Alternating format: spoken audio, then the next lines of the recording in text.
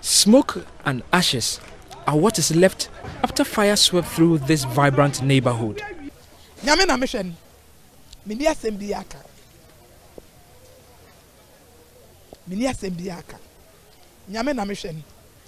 Esther Menu is one of many people who lived in this settlement.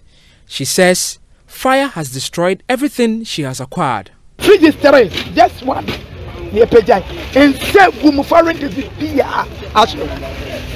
Obi owo area had wo bisa sɛ me hade a wobɛtumi aka ho asɛm ato.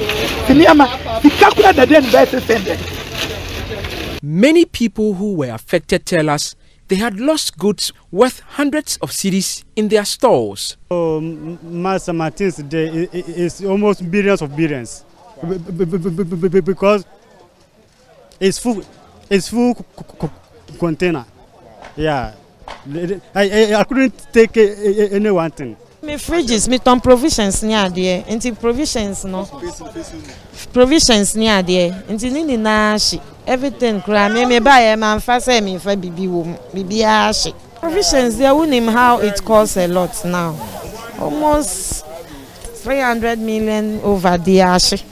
Some of the affected persons allege that the fire was started by some unknown persons as a retaliatory attack on another group.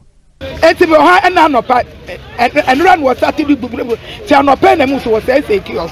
Nti wɔdu ha na so mepa mo kyɛw mo maame mo ma mi nyi mi nneɛma ɛna wɔsɔ yi. O mɛ yi wɔfa metɛni na mo sɛ mi wura aha mi fi anim wɔsɛ ɛyɛ ɛyi ansa na. Mɛ wura kɔntɛnɛ no mi yɛ sɛ mi wura mu ana mɛ ba bɛɛ ma mi tie sɛ mɛ fi mu o fi mu o di o sɛ tɛ sɛ ɔgya ne stati fi mɛ ɛyi mi kɔntɛnɛ no. The fire service managed to get to the scene. This morning at uh, 10:21, we received a distress call that there's fire break at uh, Race Junction, close to Redco Flats. DCFO Alhaji Jibril Nuhu is the deputy regional fire commander for the region.